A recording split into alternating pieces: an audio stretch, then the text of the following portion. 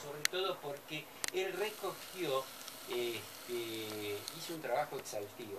Eh, los viejos eh, libros de bautismos, casamientos, de los quilmes, están actualmente en la catedral, en el archivo de la catedral, están en un estado bastante delicado. Ya estaban, cuando Don Luis Otamendi, uno por uno, eh, a máquina, en una máquina de escribir, fue eh, pasándolos, copiando cada uno de los datos de estos pueblos, ahí en, la, en el castellano de la época, en ese castellano que se escribieron esos libros. ¿no? O sea, eso